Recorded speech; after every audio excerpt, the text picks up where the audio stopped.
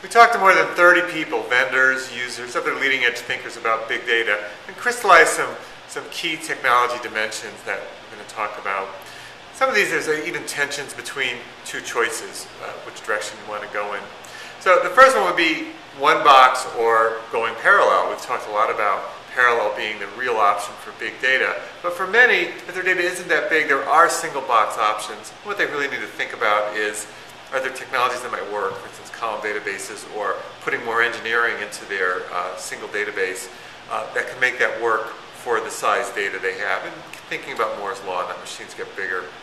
Um, the next thing is the style you're going to use. We've mentioned MapReduce a few times.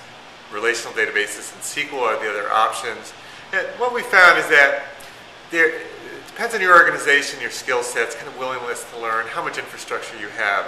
So SQL is something that a lot of people know. There's a lot of infrastructure to support it. You probably have people who, who do know it and understand it. And that might be, in some ways, an easy choice. Uh, with MapReduce, there is some learning, but from everything we hear and know, it's a pretty quick learning curve. Uh, requires a little bit more programming uh, than, than maybe SQL does, uh, but there are things happening that are making MapReduce easier to work with. What we found though is that people using MapReduce can be very engaged with the data. We don't know whether that's just because they're early adopters and are excited about using it, or if there's something inherent in, in MapReduce that just gets people more involved with uh, the data. They also really can be complements. MapReduce is great for experimenting and trying out data that you're not really sure how it's uh, going to be organized. Which brings up to organization of data, which is an important piece of the puzzle. One of the reasons people are using some of the alternative technologies is because they don't really know how they're going to use the data. Depending on your familiarity with the data you might want to be analyzing, in some cases a predefined schema where you know how you're going to use the data makes sense. In other cases where you're not really sure how you're going to use it, not defining the schema ends up being a great benefit. The type of data structure that allows uh, you not to have to predefine your data includes these key value pairs, which are common with MapReduce and other simple databases. What these allow you to do is just kind of throw the data in, analyze it. When you figure out a repeatable pattern, then you can turn it into another data structure for repeated analysis.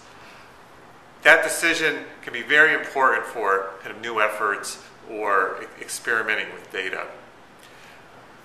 We talked about having multiple machines, and when you start getting into parallelism, you start getting into needing to think about resiliency and failure handling. A lot of databases are designed around the notion that you're not going to have your hardware fail very often, and that there's a recovery process. As you add more nodes to, or more servers to the system you're using, you now are guaranteeing you're going to have failures, and maybe on a common basis. Then there's other uh, kind of infrastructures that accommodate those failures readily. Now, something like Hadoop and MapReduce allows that to, uh, handles failures very well, and some of the databases handle that as well. So, in thinking about your platform, you might want to be thinking about how many nodes you might be using and how important failure is to what's going on. On hardware, the two kind of main choices are whether you get an appliance, which has the software and hardware uh, pre-configured for you, or whether you try to configure yourself. And a lot of that relies on what kind of resources you have, how quickly you want to get going. The appliances, some have proprietary hardware, and some use more off-the-shelf hardware, but know the configurations and have done some testing on what works. Some of that depends on how much parallelism you're going to use. If you're trying to keep the number of nodes constrained for cost reasons, the appliance approach might be a good one because the, uh, there's testing and tuning done by the vendors. If you're really going to be going to a large number of vendors, it just might not matter as much because if there's a performance problem, you can just add more, more nodes to the platform you're working on.